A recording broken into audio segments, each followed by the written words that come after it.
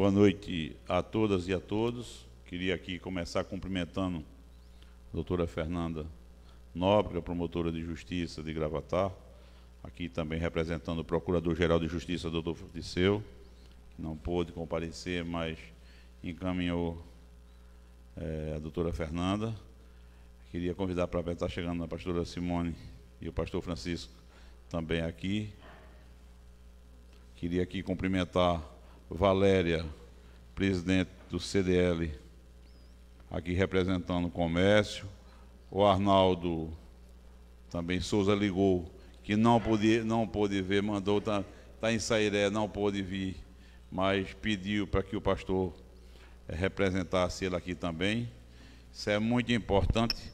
Isso é muito importante é, que a sociedade civil organizada participe justamente, entenda logo as decisões que foram tomadas, até porque desde o início sempre procuramos fazer gestão transparente, até porque todos os senhores têm conhecimento do que aconteceu essa semana, da divulgação é, de um resultado do Tribunal de Contas, onde foi mostrado que dos 185 municípios de Pernambuco, apenas 100 cumpriram justamente o que determinava, os 100% do que determinava a lei de responsabilidade com relação à transparência com o recurso do Covid. E isso a gente fica muito feliz porque ter gestão transparente hoje, na minha cabeça, além das grandes obras de pé de cal que nós fazemos, essa é a maior obra, é a transparência com o dinheiro do povo, com o recurso público. E a gente sempre fica muito feliz que está aqui a doutora Fernanda, está os pastores, está o comércio, está o secretário e secretária de imprensa Fernanda, está chefe de gabinete, doutora Divânia, Zé Fábio, todos que participaram de, durante esses 120 dias que nós estamos praticamente, esses 120 dias dessa pandemia, desse momento difícil que o mundo passa, que o país passa e que o Estado passa, sabem como é a condução das nossas decisões. Eu prefiro errar todo mundo junto e que eu querer acertar sozinho aqui. Então, é dessa forma que nós conduzimos, conduzimos os destinos desse município, que é um município que tem apesar de ter esse número de casos que a gente ainda não está tranquilo, nós não poderemos dizer que estamos tranquilos, porque os casos estão ainda aumentando, estão crescentes, é, mas dentro do tamanho da cidade, da quantidade de pessoas que têm nos visitando, nós temos uma situação razoável e controlada.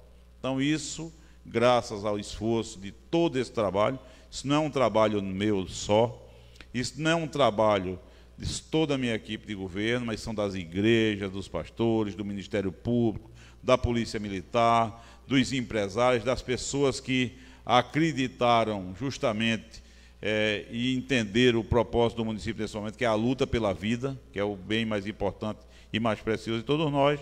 E hoje não podia ser diferente. Todos assistiram o pronunciamento do governador do Estado e nós procuramos aqui desde o início cumprir o decreto do governador, como eu tenho procurado dizer, quando eu vim para essa missão, eu fiz um juramento de cumprir as leis no meu país. Um decreto de um governador, ele tem força de lei, precisa ser cumprido, fiscalizado pelo Ministério Público e acompanhado no mesmo tom por nós aqui. E assim o fizemos o tempo todo. Agora nós, é, como tivemos a, o, no momento a questão da, do, da retomada da economia, nós estamos procurando justamente fazer com que é, as pessoas é, possam voltar a comercializar. Mas uma coisa que eu vou, eu vou antes de, de, de passar para os demais é, representantes que estão aqui, eu vou ler o decreto, vou ler o decreto, a parte do decreto das modificações. Agora, uma das coisas que eu peço à população, aos empresários, presta atenção nos protocolos, porque esses protocolos, esses protocolos esses protocolos vão ser justamente é, cumpridos, porque as sanções vão acontecer, a gente vai abrir, vai começar as coisas a acontecer, a gente vai com essa curva sendo achatada, mas precisa que se preste bem atenção no momento que a gente vai é, fazer essa abertura. Não é abrir para estar tá todo mundo fazendo festa, enchendo as lojas de pessoas de qualquer jeito, prestar bem atenção ao uso de máscara. O uso de máscara é obrigatório, o uso de máscara é lei estadual. Tem penalidades que a doutora Fernanda deve daqui a pouco falar sobre bem isso aí, que é uma lei estadual. Qual é a penalidade que o empresário que deixar um cliente entrar dentro da loja sem máscara? E importante também aos pastores que estão aqui presentes, os padres, é, tentou se falar, não conseguiu falar com o padre Fernando, nem com o padre João Paulo, não se conseguiu falar, mas amanhã a gente passa a mensagem, mais tarde a gente passa a mensagem, justamente que as igrejas também estão, nesse aquilo que eu disse aqui naquela live que fizemos, é, os pastores que participaram sabem disso, onde nós entendíamos que, do jeito que o supermercado tem o alimento do corpo, a igreja tem o alimento da alma apesar que a igreja não é o templo, são as pessoas que estão lá. Mas a gente sempre entendeu dessa forma, e foram pessoas que, em momento nenhum, os padres, os pastores, em momento nenhum entenderam que tinha que abrir, que tinha que fazer a é, pressão aqui. Entenderam de uma forma muito tranquila. E a gente agradece de coração, em meu nome, em nome de toda a minha equipe, é, justamente do, da maneira como as igrejas se comportaram no nosso município. Queria agora começar lendo justamente o decreto e em seguida passarei para a doutora Fernanda e para os demais representantes aqui. Esse é o decreto número 059, de 11 de julho de 2020. É emenda, sistematiza as regras relativas às medidas temporárias para enfrentamento da emergência de saúde pública de importância internacional decorrente do novo coronavírus, conforme previsto na Lei Federal número 13.979, de 6 de fevereiro de 2020 o prefeito do município de Gravatar, no uso das suas atribuições que lhe confere o artigo 59, inciso 5 da Lei Orgânica do município de Gravatar, considerando o enquadramento do município de Gravatar no âmbito do plano de convivência do governo do estado de Pernambuco, considerando o decreto estadual número 49.194, de 10 de julho de 2020, considerando a necessidade de sistematizar as ações do âmbito municipal, decreta, a partir de 14 de julho de 2020, ficará autorizado o funcionamento das atividades constantes no anexo 1 deste decreto. Por que dia 14 de julho? Terça-feira, porque as pessoas terão um final de semana, e a segunda-feira para adequar seus negócios, para abrir justamente na terça-feira, que é o dia 14. O estabelecimento, os estabelecimentos e atividades que trata o capítulo do artigo 1 voltarão a ter seu horário de funcionamento normal. Então, o horário, todo o horário volta ao horário normal, como era antes, e aí todos já sabem do horário das sete, aí cada um sabe dos horários que funcionava o seu negócio. Né? Os horários de dias das feiras livres de alimentos, vamos deixar claro que a feira livre ainda dos calçados, das roupas e dos importados ainda vai para o segundo momento, que a gente vai falar lá na frente, as outros ramos de atividade que ficam. É, sextas e sábados das 5 da manhã às 5 da tarde, e nos domingos das 5 da manhã ao meio-dia.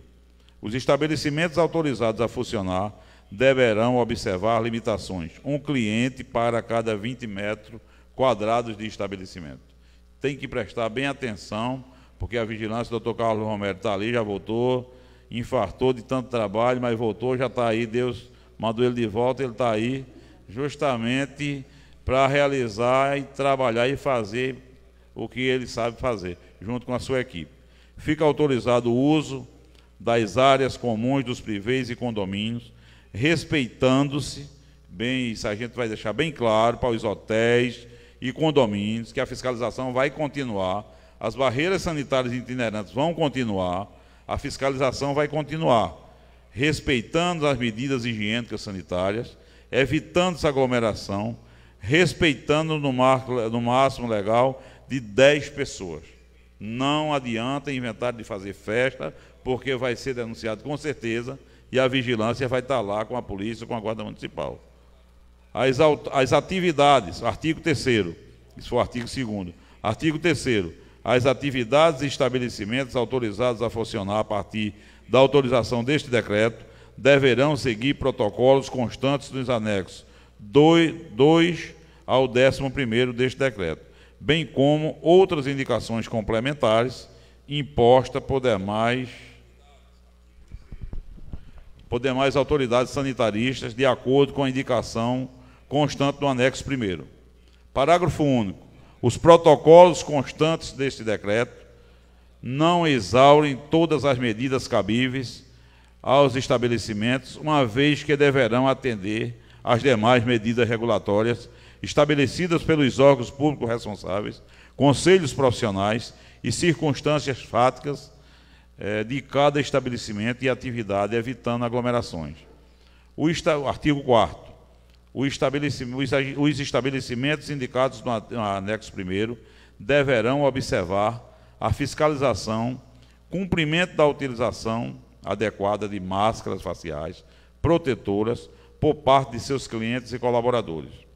O descumprimento, o artigo 5 o descumprimento de medidas sanitárias acarretará a adoção de penalidades administrativas e criminais previstas no Código Penal Brasileiro.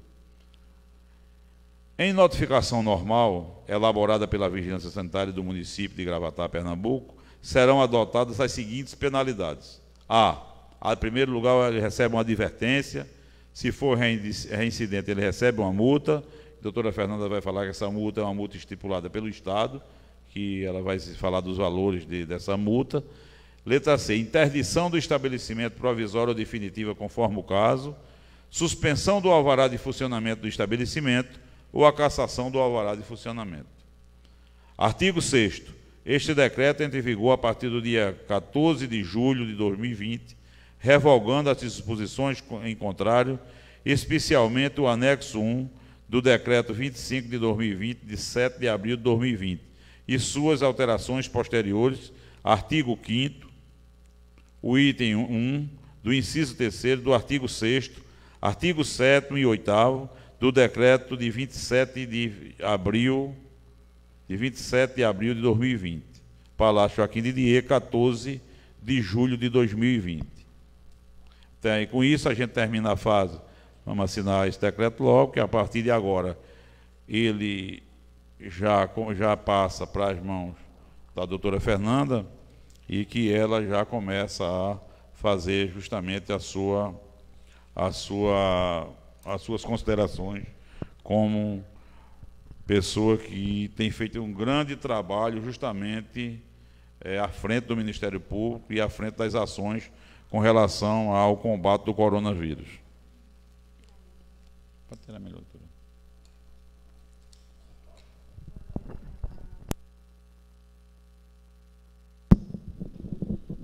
Boa noite, prefeito. Boa noite a todas as entidades aqui representadas.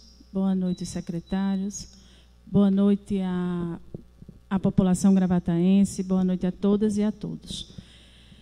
É, hoje, esse anúncio é muito esperado, né, Joaquim, na cidade de Gravatá, em que pese é, nós não, a pandemia não ter terminado, em que pese nós ainda não termos vacinas, mas é, a vida precisa continuar observando todas essas regras de flexibilização para que é, nós possamos nos habituar com, esse, com essa nova realidade e possamos começar a entender os protocolos e os posicionamentos que nós deveremos ter a partir de então, né, com esse novo, novo normal, como se diz, com a abertura do comércio, com a abertura dos salões, dos estabelecimentos, dos templos religiosos. Né? Então, a gente vai ter aí uma volta gradual às atividades comerciais, religiosas e etc. E nós precisamos, mais do que nunca, manter os cuidados de distanciamento, de higiene, de precaução, porque se assim nós não fizermos, nós voltaremos ao patamar anterior, ou seja, ao isolamento total, à estaca zero, se houver um aumento considerável do número de casos e número de óbitos em nosso município. E eu tenho certeza que aqui em Gravatar ninguém quer retornar ao isolamento como foi no início, ou a um isolamento pior, né, como que foi feito em Caruaru e em Recife. E, exatamente, vai, vai, Petrolina está voltando à estaca zero, porque não houve o respeito às normas sanitárias e os casos voltaram a aumentar consideravelmente. Então, é bom que a população se alerte para isso. Hoje, o Procurador-Geral de Justiça, que deveria estar aqui conversando com a população gravataense, mas por compromissos outros, ele me pediu para representá-lo. E é, me disse para passar um recado para a população, que está muito preocupado e essa preocupação é minha, essa preocupação é do prefeito, essa preocupação é da vigilância sanitária, é de todas as pessoas que estão à frente do combate né, à Covid-19. Ele anda muito preocupado com a desobediência das pessoas em relação aos protocolos de higiene, com o não uso de máscaras não é, pela população nos estabelecimentos comerciais.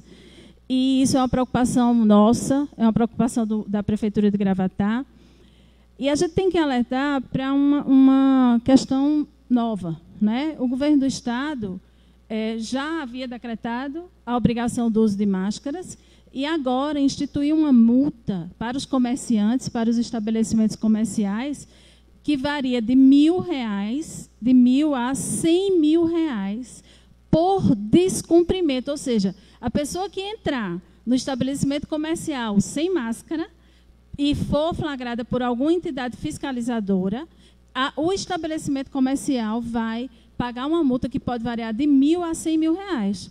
Inclusive, no caso de reincidência, essa multa ela é duplicada. Né? Então, o, comerciante ele tem que ter muito cuidado, porque essa lei é uma lei estadual, está vigorando.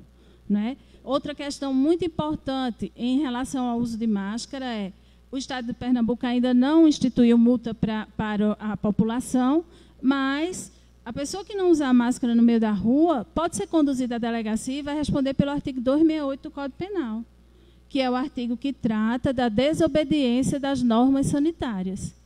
Então, gente, isso não é brincadeira. Se as autoridades pensaram nessa lei, pensaram em multa, pensaram em TCO, pensaram em tudo, foi porque entendem que é necessário esse uso de máscara. Isso vai proteger você, cidadão, isso vai proteger o comerciante, isso vai proteger o, o idoso que está na sua casa, vai proteger sua família. Só existem três tipos de pessoas que não são obrigadas a usar máscaras: crianças menores de 3 anos, portadores do, de, da síndrome do, do espectro autista e pessoas com problemas mentais comprovados. Então, assim, não tem desculpa para não usar máscara. Saiu de casa, Coloque sua máscara. Vai na farmácia, vá de máscara. Botou o pé na rua, você tem que estar de máscara. Isso aí é uma questão de consciência, de preservação consigo mesmo, de preservação com o seu próximo e também agora de zelo pelo comerciante local, que vai poder ser multado se as pessoas não tiverem de máscara. Né? A primeira oportunidade será uma advertência, conforme conta, consta no, do decreto municipal, a primeira abordagem, e em uma seguida, segunda abordagem, a vigilância sanitária. A Guarda Municipal já estão é, autorizadas a fazer a autuação, a chamar a vigilância para fazer a autuação sobre o não uso de máscara. Isso vai ser feito, gente, porque é importante para preservar a saúde do gravataense. Certo? Então, eu peço a contribuição, a colaboração de toda a população para evitar transtorno, para evitar constrangimento, e que os comerciantes também repassem isso para os seus clientes, coloquem avisos na, na, na entrada, porque a gente sabe que muita, tem muita gente que vem de fora, que vem do Recife, e as pessoas não podem alegar o desconhecimento da lei. É melhor você perder aquele cliente ali do que você pagar uma multa exorbitante ou do que você ter as suas portas fechadas. Então, isso é uma é uma necessidade no momento, não é? é provisório, isso vai passar, mas a gente precisa cumprir com essas medidas de precaução agora, para que a gente continue avançando no nosso, é, é, na nossa flexibilização no município de Gravatar.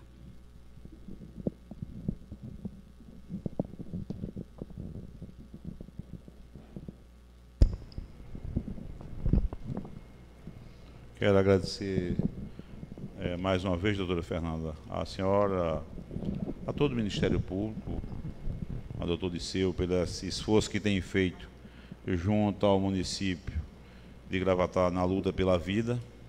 E queria dizer só uma das coisas que fica de fora dessa primeira etapa, as academias, fica de fora os bares, restaurantes, é, lanchonetes e similares, fica de fora o mercado cultural, fica de fora o parque da cidade, parque de diversão, fica de, fica de fora as escolas públicas e privadas, fica de fora a parte da feira livre, que trata de roupa, de vestuários, calçados e importados, fica de fora a feira do troca, Esses são os ramos de atividades que, numa próxima etapa, nós iremos estudando como é que eles vão começar a retornar, a retomar. E é por isso que é importante o cumprimento por parte dos empresários que estão é, elencados nesse primeiro, nessa primeira liberação, justamente para que se faça é, as segundas liberações. A doutora Fernanda colocou bem, é importante que se cuide disso agora. Essa questão das medidas sanitárias são importantíssimas. A questão da higiene pessoal, a questão do distanciamento, a questão da máscara é importante demais. O município de Petrolina abriu na frente de todo mundo. Agora voltou atrás, atrás de todo mundo. Porque aí segunda-feira tem lockdown lá por 15 dias, então imagina quanto tempo ele vai levar agora para chegar onde a gente está chegando novamente. Então não é isso que a gente quer para Gravatar. O esforço, o prejuízo que nós sabemos que o comércio passou, que o município passou durante esses 120 dias, não foi fácil. Então nós não queremos perder todo esse trabalho, esse esforço que foi feito pelas igrejas, pelo comércio, pela indústria, pelo município, para agora a gente aqui um dia voltar tudo novamente. Então é por isso que é importante que cada um preste atenção no que está sendo feito aqui. O que está sendo feito aqui não sai da minha cabeça, não sai de doutora Fernanda, não sai de Carlos Romero, sai de todos que entendem cada um no seu, no, cada um no seu, no seu, no seu local, na sua profissão, pensando o que deve fazer aqui para o bem de todos. Eu queria agora passar, secretária Fernanda, o microfone para a representante do comércio, Valéria, e depois para os pastores, para que fale algo justamente a respeito do momento que nós estamos vivendo. Valéria que Valéria que Valéria que vivia cobrando 24 horas Marnaldo, justamente a abertura do comércio. Aí agora está aqui agora, Valéria, para você dizer para os seus sócios, dizer para os seus sócios justamente é, a respeito do, do, de como será, de como proceder. O decreto, você vai levar uma cópia para o CDL, os pastores vão levar para as igrejas. O Arnaldo vai receber uma para a associação comercial, como vai estar a secretária Fernanda Pérez, quando terminar aqui, vai disponibilizar também no site da Prefeitura, como vai estar no site do Ministério Público. Então, ninguém pode dizer que não tem conhecimento do que está aqui acontecendo, porque está muito bem claro, está muito bem escrito, está muito trabalhado, com muita tranquilidade, para entender, todo mundo entender. Queria passar agora para a representante do CDA, presidente CDL, Valéria. Boa noite a todos, boa noite o prefeito Joaquim, doutora Fernanda e todas as autoridades aqui presentes. Né? Quero dizer que estamos muito satisfeitos, Joaquim. Este momento é esperado com grande. Todo mundo está ansioso para a retomada. Né? É, mais de quase 120 dias o comércio fechado. A maioria dos estabelecimentos é, sem faturamento, é, a preocupação é muito grande. Só eu que estou ali à frente do comércio é que estou assim todos os dias. Olha, é uma preocupação. Fale com o prefeito, fale com a doutora Fernanda. Estamos preparados. É, olha, não é o comércio que contamina e realmente nós fizemos uma pesquisa, sabe, Joaquim? Fizemos uma pesquisa aonde só foi constatado, estou com, com esses documentos, as empresas que foram pesquisadas, só na faixa de 2%, menos de 2% foram contaminados. Né? Então, tivemos o, realmente um diagnóstico de que nós poderemos voltar. Né? Vamos voltar, mas não vamos voltar para ser provisório, não. Não vamos regredir como Petrolina e outras cidades aí estamos, estão regredindo. Nós vamos voltar com consciência da nossa responsabilidade. Não vamos voltar de forma arbitrária, porque estamos juntos aqui. Juntos com a prefeitura, junto com o poder público, com, com a doutora Fernanda, nos orientando preparamos uma cartilha, estamos com todo cuidado, preparamos, criamos um programa Retorno Consciente, junto com a Prefeitura e a Secretaria de Desenvolvimento Econômico. Neste, neste retorno, nesse programa Retorno Consciente, é, consta uma cartilha de biossegurança, com normas de biossegurança voltada para o funcionário. E outra cartilha voltada para o lojista, com orientações gerais, que nós já estamos aqui. Sugestões para a loja, orientações gerais que eles deverão seguir. E todos estão conscientes. E Valéria me mande, nós nos disponibilizamos a, a estar tudo isso virtual, a cartilha virtual, mas nós temos áudio, temos a menina lá da CDL, que está disponível a fazer a apresentação nos estabelecimentos para os, os funcionários e para os lojistas. Ela ficou lá terminando de elaborar um curso. Esse curso é com cunho educacional, orientando os lojistas como deve abrir o seu estabelecimento com segurança, baseado no decreto do governo municipal, com todas as orientações. Eu, é, no final do curso, ele irá receber um certificado que poderá expor na frente da sua loja como uma empresa responsável. Pode entrar nesta empresa, pode comprar nesta empresa, que esta empresa é uma empresa segura. Não irá se contaminar nem os funcionários, nem quem entrar na empresa porque esta empresa é, um, é uma empresa altamente responsável. E esse certificado será assinado pela Vigilância Sanitária e pela é, CDL. Ficará disponível este curso na plataforma da Prefeitura e irá ficar disponível na plataforma da CDL. Nenhum lojista irá dizer que não foram orientados, né?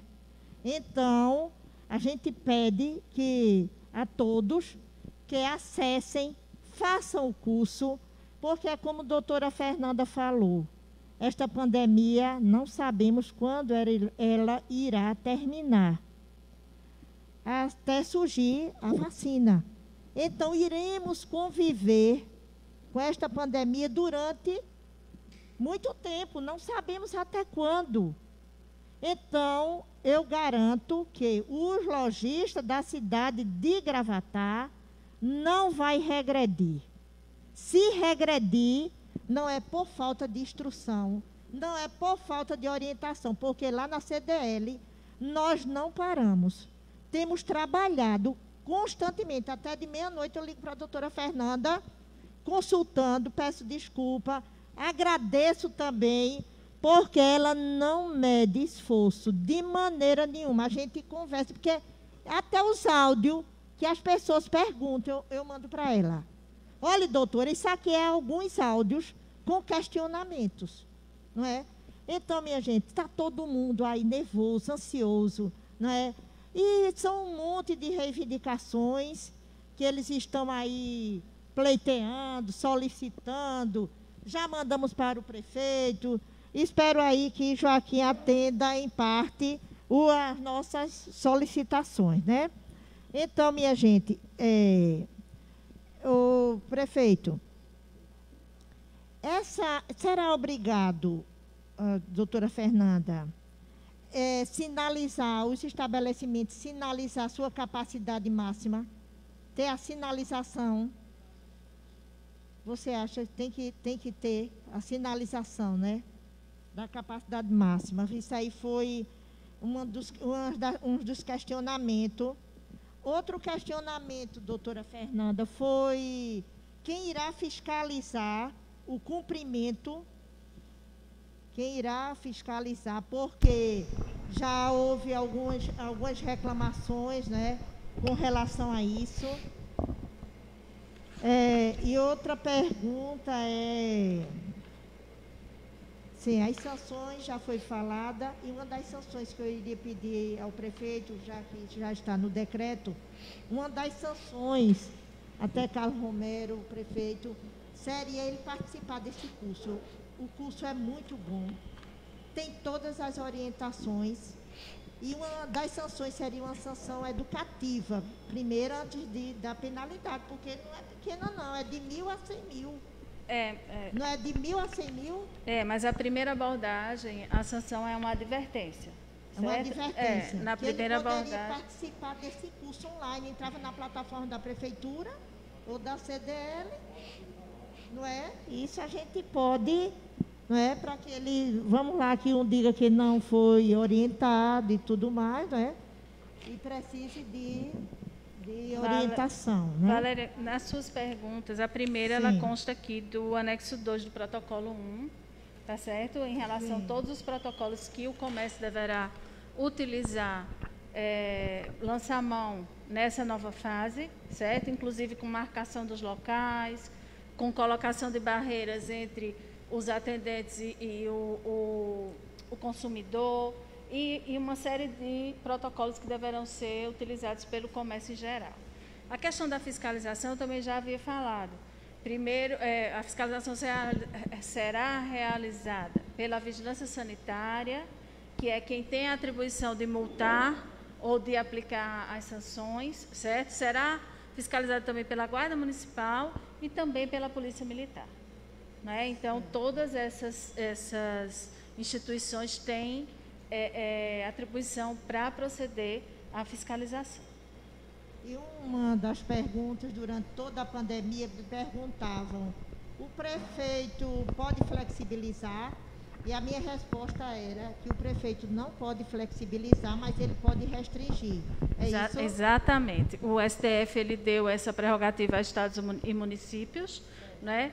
O estado ele pode restringir as normas federais e o município pode restringir as normas estaduais, Certo. certo? E ficou até uma coisa que eu precisava dizer aqui, eh, Joaquim, que eu não falei antes, passou por mim. Depois da reunião que a gente teve com o procurador-geral, no início da semana, ele entrou em contato com, com o comitê eh, eh, de crise do governo do Estado, batalhou, pleiteou pela nossa reabertura, inclusive antes, até mesmo sem receber aqueles informes que a gente havia combinado de encaminhar para ele. Né?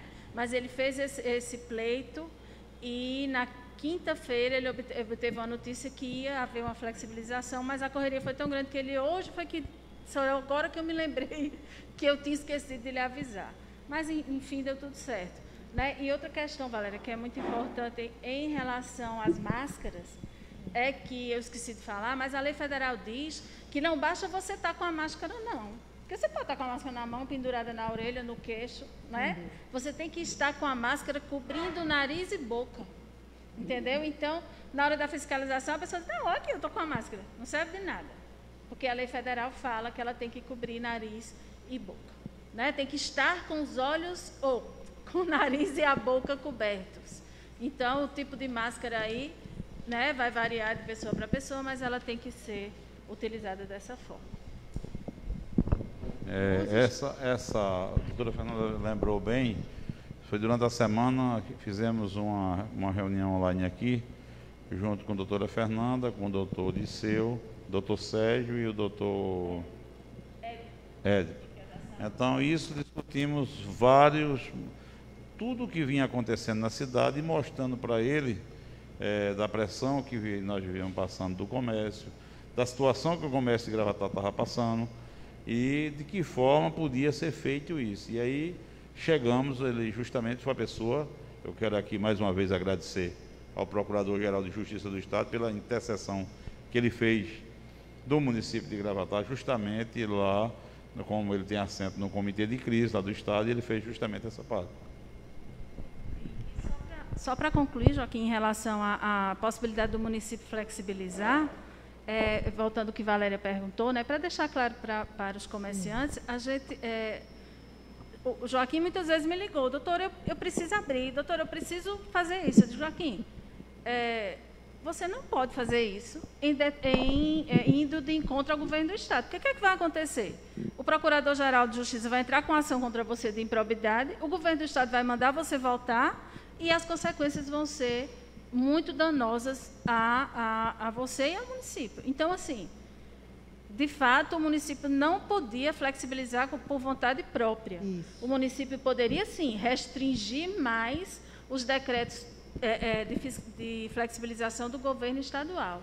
O que não é o caso, porque o Gravatar está seguindo à risca tudo que o governador é, determinou na último, no, último, no decreto de sexta-feira. No decreto não fala de rodízio de funcionário, não, né? Não, Valéria. Vê, não. Você veja os protocolos tá. e cada, cada tá. comerciante, automaticamente, é. isso, isso é uma coisa que a gente, todas 15 tá. dias, você pode ir alterando, tá. adequando as experiências é, positivas de um empresário que foi inovador, que foi criativo, automaticamente os outros podem ir copiando. Então, isso tudo vai acontecer. É tudo muito novo, é tudo muito diferente. Quem for diferente vai sobreviver, quem for inovador. E eu tenho certeza que, como o Gravataense é criativo, automaticamente ele vai fazer tudo o que precisar ser feito, Valéria. Concluiu, Jair? Não. Pronto. Porque uma das sugestões é. nossa para o lojista que está aqui é que ele faça o rodízio de funcionário, evitando o contato entre a equipe rodiciada. Por quê? Evita, não é? Vai que um se contamine, então aquela equipe que está fora vai. Ele está na eminência de fechar seu estabelecimento total. Não é?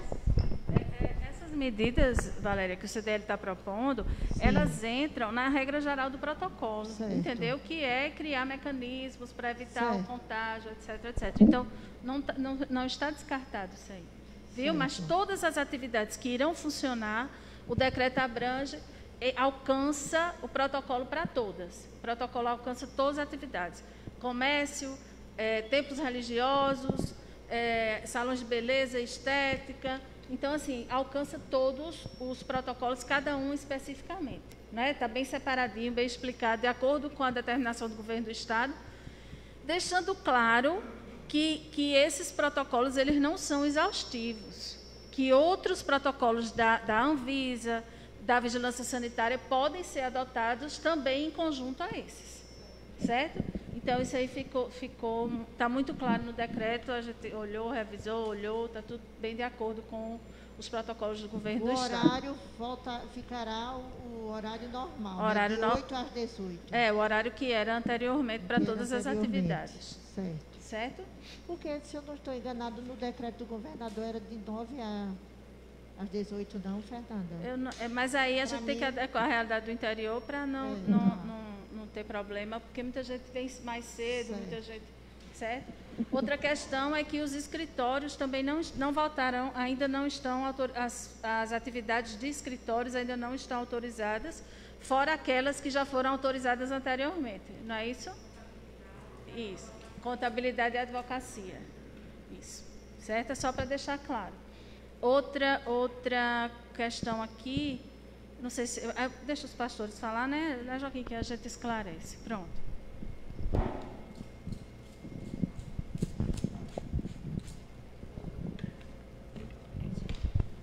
Eu queria agora passar para os pastores, para que eles se pronunciem, mais uma vez agradecer a presença deles é, e que eles se pronuncie sobre o, o, momento que nós estamos vivendo, como é que foi essa pandemia. Uma coisa eu sempre tenho lembrado, o que diz o Papa Francisco, né? que esse, o mundo não será mais o mesmo pós essa pandemia. Vão ser muitas coisas, a gente já está vendo muitas coisas mudando. Muitos modos operantes, muitas inovações tecnológicas e tudo que vão acontecer é, no mundo daqui para frente. Eu queria passar para o pastor Francisco, para que ele comece justamente a fazendo a sua a sua interferência, a sua fala e depois para os demais pastores. Também eu dou boa noite a todos, tá bom? Também o nosso prefeito Joaquim Neto, né? A promotora a doutora Fernanda, a representante comercial, me desculpe, eu não peguei seu nome, Dona Valéria, e o pessoal da imprensa aqui, todos que tenham uma boa noite, né? Na questão, na questão né, nossa, em relação aos acontecimentos, né? Foi como nós fizemos aquela, aquela live, naquela primeira, naquela, aquela primeira live, E aí o combinado foi que a gente, como lê muito Bíblia, e o governo é que ia estar tá comandando a questão da igreja, a questão de como nós nos comportaríamos com a igreja. E graças a Deus, eu acho que uma questão assim, o senhor como prefeito saberia de algum problema, né? Todas as igrejas em relação com, com a questão do conselho de pastores, todas elas trabalharam certinho, não houve problema. Muito pelo contrário, a gente teve um índice muito baixo da questão da, da, da Covid, do, da em relação a, a, a, a estar enfermos. E nós fizemos todo, tudo que era todo o processo que, que tinha que ser feito, né? E agora, como a gente vai começar na segunda-feira, eu tenho uma pergunta para fazer para a promotora, que é assim, a questão de membros. Quantos membros nós podemos colocar? Porque hoje a nossa igreja, ela tem em torno de mais de 100 membros. E aí tem culto que a igreja enche. Então eu queria saber uma quantidade exata, né? Olha, o pudesse... protocolo ah, tá do bom. decreto municipal, o protocolo das igrejas é o anexo nono, certo? É, é o anexo 9 é o protocolo das igrejas. É, pelo, pelos protocolos estaduais, as igrejas poderão contar com um, um, um público de 30% da sua capacidade, por enquanto, 30% da sua capacidade. Se a igreja comportar mil pessoas, não pode exceder 300 pessoas, certo? certo? E se não é, é menos, é menos é, do só um minuto. se a igreja, eu mandei aqui para a pastora Simone hoje, deixa eu só tirar a dúvida aqui, gente, é melhor a gente consultar do que errar, sim, não é verdade? Sim. Se a igreja comportar até mil lugares, ela só poderá ter o limite de 50 pessoas. Até mil lugares 50 pessoas. Quer dizer, é 30% se não chegar a 50. Sim, entendeu? Então, sim. se ela tiver mil lugares, só pode ter 50 pessoas. Se for mais de mil lugares, aí pode ter 300, até 300 pessoas. Certo. Certo? Então, esse é o protocolo. A questão de, de, da população da igreja. Agora, eu, eu, queria outra pergunta, dentro dessa aí que agora veio a, uhum. a, a memória. É, nós, nós podemos fazer, no caso, dos cultos. A gente faz um Sim. culto no domingo, Sim. aí seriam 30 pessoas. Sim, não tem problema. Aí a gente pode fazer outro com mais 30. Não, não, não há problema. Pronto. O pode, se o senhor respeitar as normas de higiene, fazer a desinfecção Pronto. e tudo certo, o senhor pode ter vários cultos até por dia, certo? Pronto. Se for o caso. É exatamente uma, uma das partes que, é. que o conselho tem aqui, né, que foi, a gente, eu, eu não conversei com o pastor, só isso aqui, só essa, essa coisa bem simples.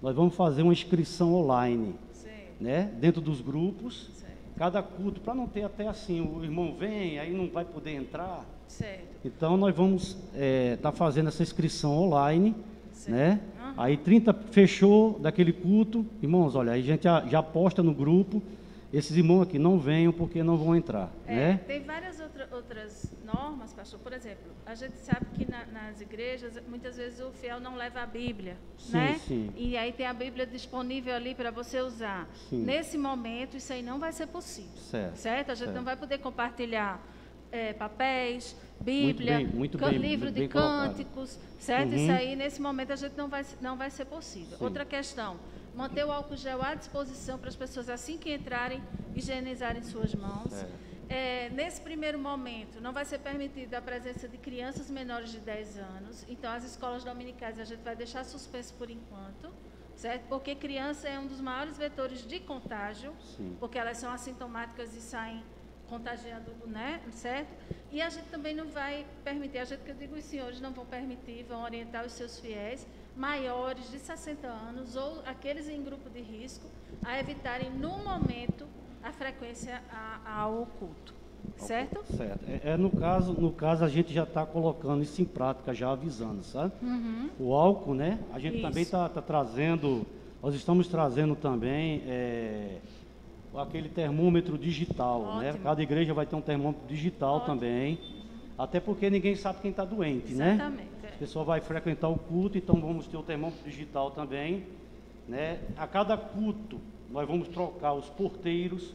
É uma coisa simples, mas o porteiro ele pode estar contaminado de um canto e é. passar para outro, né?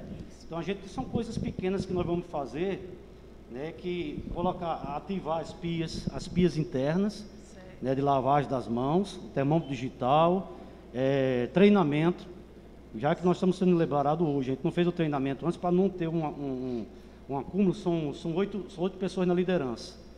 Então nós vamos, na segunda-feira, que amanhã tem um culto online ainda, né, na, na segunda-feira nós vamos convocar esses oito, para a gente fazer um treinamento em relação a tudo isso que a senhora falou, em relação a, a, ao álcool, ao cuidado. Não, a, mas o resto está tudo contido nos protocolos, muito bem explicado, entendeu? Inclusive Pronto. a questão da higienização do, do, dos microfones, do, do, da, dos bancos, de tudo que for utilizado, evitar as questões de, de de cumprimento, de abraço, desse tipo de confraternização, né? Uhum. A marcação dos bancos, para as pessoas saberem onde é que devem sentar, com o né? distanciamento.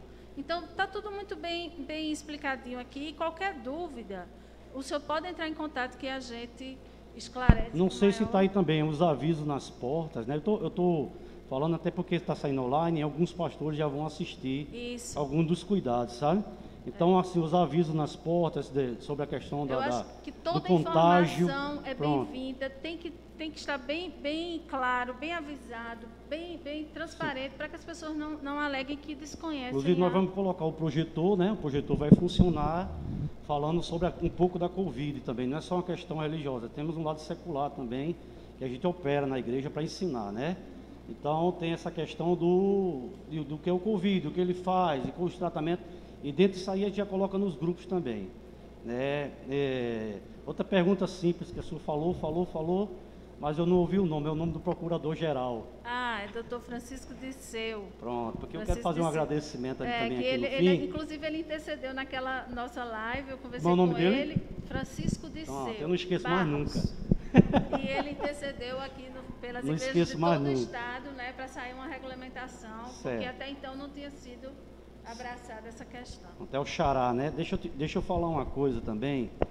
Eu queria, já que está sendo gravado, prefeito, é, deixar um, um, um, O senhor falou ainda agora, né, que quis fazer e a, a promotora te deu um, conselho, não, não mexa com isso, porque não vai ser bom. Porque eu só tenho amor, né? O amor a gente tem que andar, amor e prudência. Né? Eu gosto muito de pregar sobre o amor e a prudência. Então a gente não pode fazer a coisa só pelo amor, a gente tem que ter prudência, né?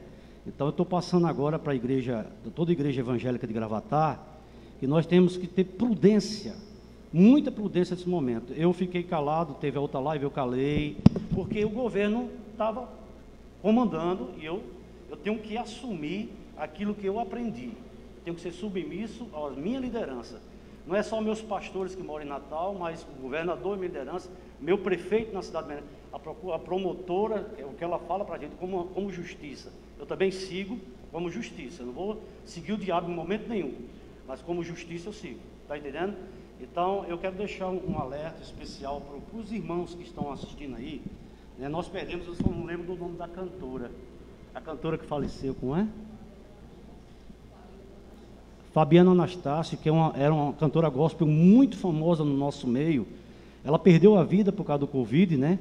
Um amigo nosso, pastor, o pastor Davi, né, o pastor Davi da Internacional da Graça, que foi daqui, de Gravatar, pastor Davi Castro, amicíssimo nosso, amigo mesmo de, também faleceu, né, foi, foi do, do, desses momentos Covid, foi que eu mais senti, foi porque ele era um amigo nosso, de, de culto indo para lá, culto indo para cá, visitarmos cada um sua igreja, né, e agora há pouco eu descobri que morreu é, o, o, o pastor Maurício Cerulo, que ele é conhecido internacionalmente. Quer dizer que é uma coisa muito séria, que nós, como crentes, temos que ter prudência, né? A gente tem que andar de acordo como tem que ser. Então, está sendo passado, né? E eu agradeço, eu quero agradecer, eu quero agradecer mais uma vez ao promotor-geral da Justiça, o Francisco, Francisco de Seu Barro, quero pelo empenho que a senhora falou, né, sobre o empenho na causa. Também o prefeito Joaquim Neto, que tem sido um amicíssimo do Conselho de Pastores de Gravatar. Nunca, em tempo nenhum, nós tivemos uma abertura tão grande junto à Prefeitura de Gravatar em relação à questão dos pastores, né? E a promotora, a doutora Fernanda, que tem sido né, eu acho que passou de promotora, né? Tem sido uma amiga, principalmente da minha esposa, eu ouço falar, ela, a promotora está aqui, está conversando, e a gente tem passado tudo que a senhora passa para o conselho, para que o conselho veja que o negócio tem sido sério, e eu agradeço a tudo. Agora eu quero perguntar se o meu pastor, o vice-presidente do conselho, ele quer falar mais alguma coisa. É importante que o pastor fale. É importante que o pastor fale é, que ele foi o primeiro a me trazer um plano da retomada das igrejas. Ele me trouxe aqui um documento que eu li, por sinal, muito bem feito, muito bem produzido, a retomada da igreja lá. Boa noite, é, prefeito Joaquim Neto, promotora Fernanda, Valéria, os pastores aqui e os demais, e a todos que, está, que estão nos ouvindo. É, de fato, há mais de dois meses nós temos trabalhado com a igreja, com os pastores. Eu também sou presidente da Associação de, da, das Igrejas Batistas da Mata Centro, de Moreno até Gravatar. E quando liberou a primeira etapa, Gravatar foi a única que, que ficou e os demais pastores, eu me reuniam com eles em live constantemente para passar justamente as diretrizes, os protocolos, porque nós, como igreja, precisamos estar tranquilo. Todo mundo está querendo voltar, né? mas como a, a Bíblia nos manda, a gente leva as nossas ansiedades a Deus, porque Ele tem cuidado de nós, então a gente estava muito tranquilo, esperando o momento certo, e ainda essa semana reuni toda a diretoria e, e a principal, principal liderança da nossa igreja, aqui a primeira igreja batista de Gravatar, já para começar, já comprar o que tiver de comprar, adequar o que precisa ser adequado e preparar toda a liderança. Para uma possível a reabertura, né, que a gente imaginava a qualquer momento. Então, nós já estamos trabalhando com muita tranquilidade, observando aquele protocolo que está bem aí também esses aí de estamos os, tirando bancos da igreja, vai, vamos botar só duas pessoas em cada banco, são os bancos de mais de quatro metros, e só vai ficar duas pessoas por banco e com distanciamento. Então, nós temos, é, de fato, já se preparando, porque a nossa também é a, a saúde da, das nossas ovelhas, da nossa membresia, né? E sempre caminhando junto aí com a prefeitura, com com todo, toda a lei, porque, como disse o pastor Francisco, nós precisamos estar é, obedientes a isso. Então, assim, a minha palavra como primeira igreja batista, a gente ia, pensava esse ano, né, ia fazer uma grande festa para os 115 anos da igreja, e a gente já vamos pensar de uma outra forma e vamos fazê-lo, não vamos deixar passar essa data, mas vamos deixar para uma coisa maior lá para o ano, se assim for permitido. Então, é, como também aqui o vice-presidente da nossa de Gravatar, temos conversado com os, os, pastores daqui, também orientando. Então, nós temos tomado as precauções e vamos tomar ainda mais. Então, que Deus continue abençoando vocês.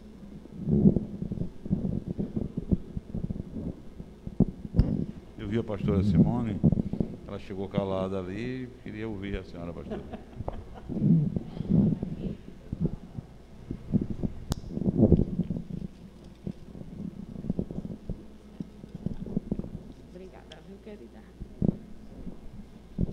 Boa noite, senhor prefeito, boa noite, minha promotora, boa noite aos pastores, a todos os representantes, eu não sei o nome de todos.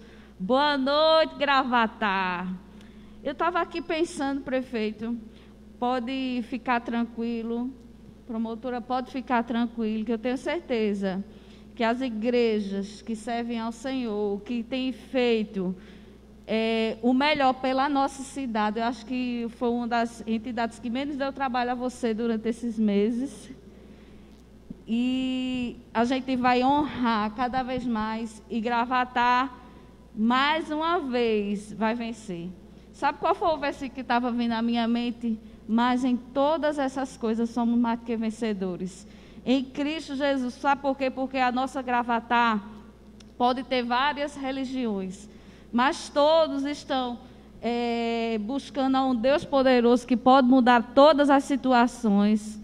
E nós queremos agradecer. Eu tenho poucas palavras hoje, prefeito, mas é, nós queremos agradecer a todos, agradecer à promotora, ao prefeito, a todos que estão trabalhando no, no hospital, todos que estão trabalhando na saúde, os agentes de saúde, a todos nós queremos agradecer, porque são pessoas que têm se dedicado, a todos que estão trabalhando nas farmácias da nossa cidade, a todos os comerciantes. Nós temos orgulho da nossa cidade e de todos aqueles que estão trabalhando. Então eu louvo a Deus pela vida de todos. E quando terminar tudo que disser assim, passou tudo, né?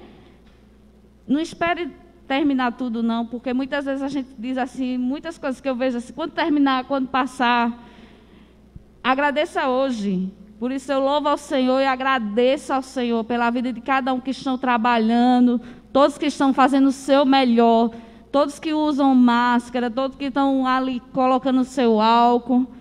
Que Deus te abençoe. Que a glória de Deus venha sobre a tua vida, sobre o teu lar, saúde, paz, alegria agradeça. Por isso eu agradeço ao Senhor, até eu e o pastor Francisco, quando a gente está assistindo televisão no jornal, que estamos jantando alguma coisa que passa assim, mais um venceu. A gente para tudo e começa a aplaudir, mesmo que eu não conheça, porque é uma grande vitória. Cada um que venceu, eu louvo ao Senhor e agradeço ao Senhor pela tua vida. Muito obrigado, Deus, pela vida de cada um que está aqui. Nós estamos aqui já é uma grande vitória. Agradeço a oportunidade, prefeito, de todas as igrejas de coração. Secretária Fernanda, tem alguma pergunta? Alguém está. Estou vendo que você está respondendo direto aí. Tem mais alguma pergunta? Tem, tem sim, prefeito. Muitas dúvidas né, que foram tiradas aqui nessa live hoje, que também está sendo transmitida pela Rádio Nova FM. A gente foi respondendo aqui conforme a live foi passando, mas a gente tem uma dúvida aqui do Igor Nóbrega, jornalista, que mandou a seguinte pergunta. Boa noite, prefeito, promotora, todos os representantes, pastores. Joaquim, a gente tem acompanhado a reabertura gradual do comércio em várias cidades do país. Infelizmente, em muitas delas, verificou-se um aumento considerável nos casos de Covid após esta reabertura. Tendo em vista ainda que a economia local precisa novamente girar, como a Prefeitura de Gravatá pretende monitorar o retorno das atividades comerciais sem colocar em risco a saúde de empresários, funcionários e clientes. Eu sei que já foi respondido aqui, mas como muitas pessoas ainda estão perguntando, para a gente esclarecer. Primeiro, esse decreto não foi feito da minha cabeça. Esse decreto foi pensado por uma equipe, por um grupo que está aqui. Se procurar cumprir esse decreto, não vai acontecer aumento. Se esse decreto for cumprido na íntegra, com certeza nós não vamos ter problemas nenhum porque tem lá o medicamento do protocolo das unidades básicas de saúde, tem um protocolo no hospital e as pessoas não vão adoecer tanto se tiver, vão adoecer, vai ter casos, vai, mas não vai ter nada que venha complicar a situação do município. Se cumprir o decreto, Igor, com certeza. E aqui tem uma série de outros assuntos, como a gente está vendo aqui. É, academias, aqui faltou citar mototáxi, academia, mototáxi, bares, restaurantes, mercado cultural, é, parque da cidade, escolas públicas, onde vai estar o maior problema, vai estar na retomada das escolas, que isso aí é que a gente tem que ter muito cuidado como retomar essas escolas. Eu vou dar um número para os senhores pastores, a doutora Fernanda e a Valéria. E a Valéria. Na hora que o município de Gravatar retomar as aulas, só o município de Gravatar mexe com 25% da população. Vocês têm noção do que é isso? 8.300 alunos, mais 6 mil pais e 6 mil mães. 20 mil pessoas, 25% da população. Só a rede municipal. Falta, falta a privada e falta o Estado. Então, só para vocês terem noção, essa retomada das, das aulas, como vai ser difícil, como não é fácil planejá-la. Mas tem aí feira livre. Imagina se juntar aquela feira livre todinha agora, voltar os alimentos para o local e juntar aquela feira livre. Você tem noção do aglomerado de pessoas que dá ali? Apesar de estar ao ar livre, mas são aglomerações muito fortes. Pessoas, você vê a quantidade de, de máscara que nós temos distribuído, Ação social todo dia faz 1.500 máscaras lá na periferia entregando. Toda feira, no sábado de manhã, 3, 2.500, 3 mil máscaras. As pessoas que chegam da zona rural, muitas vezes chegam sem máscara, chegam com a máscara suja, ele recebe uma máscara para usar para não chegar na feira sem máscara. Então, todo esse esforço o município está fazendo. Agora, precisa que as pessoas façam o seu trabalho. Não é o município, não é a doutora Fernanda, não são os pastores, não são os representantes do comércio, não é a secretária de imprensa, não é o secretário de saúde, não é o Carlos da vigilância sanitária. Não, é todo cidadão. Aqui é, é, é aquilo que chama de cidadania. Você tem que saber dos seus direitos e saber dos seus deveres. Se você souber dos seus direitos e seus deveres, não vai acontecer. E a pastora Simone disse uma coisa interessante, e eu queria aqui lembrar hoje o milagre de uma funcionária nossa está de volta, vai estar de volta, que é a funcionária Linda Si, que é a funcionária da Secretaria de Saúde. Passou mais de 57 dias. Passou mais de 57 dias de UTI, está lá hoje já na enfermaria, só cuidando das escárias, mas já está fora de perigo, graças a Deus. E a outra funcionária, que é a técnica de enfermagem também, Giselda, que saiu da UTI ontem, que já está também na enfermaria. Então, isso a gente tem que agradecer. Hoje a gente está na UTI ainda com um funcionário que é o coveiro lá da Cotuguba, está ele e a esposa na UTI, e tivemos a perda de uma técnica de enfermagem, a Ana, e da professora Nevinha, que se foi e partiu desse lado também. Então, isso a gente trabalha, porque eu, eu digo, digo dizia no começo, doutora Fernanda Stil, a secretária Fernanda o tempo todo acompanhou, e os senhores acompanharam, quando eu dizia que o seguinte, como eu sou muito próximo da população, minha questão não é estatística, morreu 5, morreu 10, morreu 20, morreu... Cada um desses que se vai tem uma história ligada diretamente a mim. Não é estatística de morte. É perda de pessoas queridas, pessoas que a gente conviveu, que eu convivi a vida toda aqui, durante os meus 34 anos de gravatar. Ele não está mais em gravatar, ele é de Caruaru. Viu? Eu falei que nós perdemos um amigo, né? Mas não entra. É, ele o senhor tá sabe que Caruaru, qualquer coisinha cobram, né? É. E por que não colocou ele? Mas ele é de Caruaru. Caruaru. Viu? Tá. Então, mais alguma pergunta? Mais alguma? Tem sim, prefeito. Tati Paulo, ela pergunta se as vans que fazem um percurso entre Gravatá e Xangrande, se elas vão ser permitidas. Eu vou fazer um entendimento com o prefeito Diogo, com o presidente da associação, irei marcar e a posterior nós iremos informar como vai funcionar a quantidade de passageiros nessas vans, como é que vai ser esse transporte, assinando justamente com o Ministério Público esse protocolo de entendimento. Isso, entendeu? Xangrande já está aberto e a gente ainda está começando a abrir agora. Então, vamos fazer esse entendimento para que as coisas fiquem bem legalizadas e sem nenhum problema, nem para Gravatar, nem para Xangrande. A Flávia Fernanda Oliveira pede que a gente coloque carro de som na cidade, informando que é obrigatório o uso de máscara porque tem muita gente cabeça dura que ainda não quer usar. Ela dá uma sugestão, prefeito. Ô, Cláudio, vou aceitar a sua sugestão, com certeza. Eu estou aguardando até o judiciário autorizar a propaganda é, do Covid, que a gente está suspenso, fica suspensa a questão de propaganda, nesse momento, conta do momento eleitoral, mas nós fizemos um pleito ao juiz eleitoral justamente para que a propaganda específica do Covid continue nas ruas é, seja nos blogs, seja nas rádios, seja nos carros de som, seja em qualquer meio de comunicação, porque nós entendemos que até o final dessa pandemia a coisa mais importante que existe é a comunicação. Pode certeza iremos fazer, Cláudio. Mas é, você está certo, aquela velha história, água mole, em pedra dura, tanto bate até que fura. É, porque as pessoas, e mais, mais interessantes, são as pessoas mais idosas que estão mais resistentes ao uso da máscara e são as pessoas que mais chegam grave lá no hospital. E se a senhora viu a estatística das idades que faleceram aqui, 80% são pessoas acima de 60 e 70 anos. Prefeito, a Olívia pergunta sobre a reabertura do polo moveleiro. Já está já tá liberada. Já a partir da terça-feira, Olívia. Vai ganhar dinheiro, vai fazer o que você gosta de trabalhar e de ganhar dinheiro. A Ivanilda Silva, as lojas de roupas também terão que sinalizar a distância entre as pessoas dentro da loja? Isso. Qualquer comércio, o tratamento é o mesmo. A de roupa ainda tem uma coisa mais. E a de roupa ainda tem uma coisa mais específica. A pessoa não pode provar roupa, não pode mais provar roupa em loja, tem essa coisa todinha que é importante que, que observe o protocolo. Cada comerciante, cada comércio tem uma particularidade, cada particular, cada comércio tem um protocolo. Então, no decreto é importante que cada um leia o protocolo. Muita gente ainda perguntando, vai começar na segunda ou na terça? Terça-feira.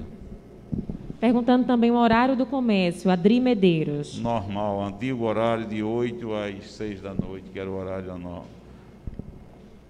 Agora, prefeito, aqui as lojas de roupa vão abrir, também o prefeito acabou de responder sobre as lojas de roupa. Algumas pessoas perguntaram se durante a semana essa, esse plano de retomada vai ter alguma ação ou intensificar as ações da saúde, já que vai ser um período diferente nesse primeiro momento. Intensificar, não entendi. Intensificar as ações da saúde? As ações da saúde. Teve uma, uma, uma nossa seguidora que perguntou se vai continuar lavando as ruas, se vai, vai aumentar essas vai. ações, já que o número de pessoas vão, vai aumentar, na, circular na cidade. Vão continuar mesmas ações que nós iremos, que estamos fazendo já. A Maria Iris pergunta sobre as barbearias, também estão inclusas? Estão inclusas também, barbearias, salão de beleza, estão tudo incluso. Lembrando também, prefeito, que ainda hoje o decreto vai estar no site da prefeitura, então as pessoas vão poder acompanhar o protocolo de cada categoria. A gente vai estar soltando matéria e durante a semana também a gente vai soltar uma série de matérias explicando cada setor o que fazer. Vai estar no site do, do município, está no site do Ministério Público, vai estar nas igrejas, vai estar no, no CDL, vai estar na Associação Comercial é, vai estar aqui no, no, na Secretaria de Governo do município, vai estar na Secretaria de Imprensa, você vai estar sempre para tirar sua dúvida. E está aí amanhã e segunda-feira para se organizar, para começar, recomeçar justamente uma nova vida, uma nova fase, uma nova etapa na vida de cada um. Se reinvente, inove, porque quem for diferente, quem se reinventar, com certeza terá sucesso. Boa noite a todos. Tem mais duas perguntinhas aqui, prefeito. A Conceição, prefeito, gostaríamos de saber quando poderão ser abertas as quadras, campos e áreas de lazer dos condomínios. Aqui a gente deixou claro no decreto que as áreas de lazer estão, de lazer estão abertas, desde que seja respeitada o máximo de 10 pessoas e os cuidados com a higiene, com a, como é recomendada pela vigilância sanitária. Então, eu queria aqui agradecer a todos, agradecer em especial à senhora doutora Fernanda. Leva aqui um forte abraço ao doutor Disseu, é, da, da, minha cidade, do meu grupo de secretários, do meu povo. Queria aqui agradecer aos pastores que sempre tiveram presentes na nossa vida, porque sem Deus ninguém é nada. É, queria agradecer a Valéria e agradecer também ao Arnaldo, que não pôde estar presente, representando a Associação Comercial, mas me ligou e que o senhor viria, estaria aqui, que Valéria também está, que passa para o comércio essas informações. E qualquer dúvida na live da segunda-feira à noite, nós, se tiver que ficar restar qualquer dúvida, na live normal da segunda-feira nós podemos tirar qualquer dúvida. Agora, pastor. Queria desejar